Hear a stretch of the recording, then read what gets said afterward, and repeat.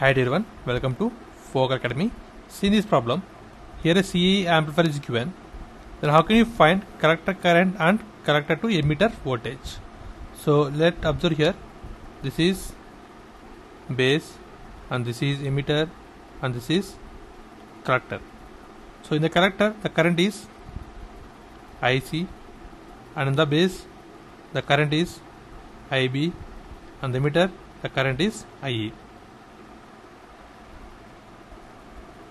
So in this transistor means for any transistor base to emitter voltage for silicon transistor that is voltage drop from base to emitter is constant that is cut in voltage nothing but 0.7 volts. Now apply loop here means KCL. So in this so then we get VCC equal to IB into RB plus VBE. So from this you will get base current IB equal to VCC minus VBE by RB. Now substitute VCC that is given as 9 volts 9 minus and VB is constant that is cut in voltage nothing but 0.7 upon and base resistance is given as 300 kilo ohms. So by simplifying this we will get 27.67 micro amperes and it is the base current.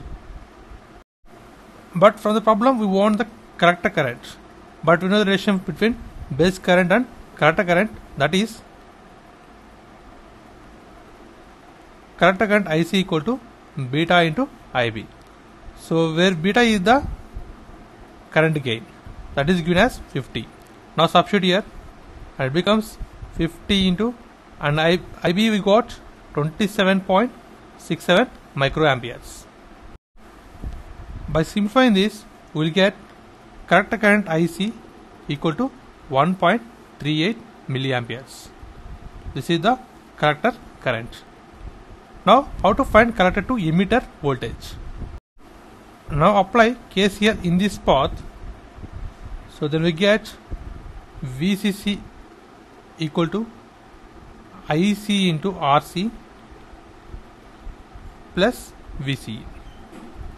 So from this we get VCE equal to VCC minus IC into RC.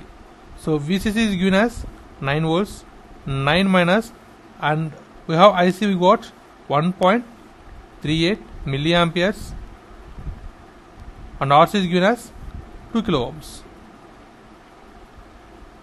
So by simplifying this we will get 6.24 volts that is collector to emitter voltage. So this is the collector current and this is the voltage drop between collector to emitter and these are the two required values for the given problem and this is the process of simplification and thanks for watching please subscribe like share. Thanks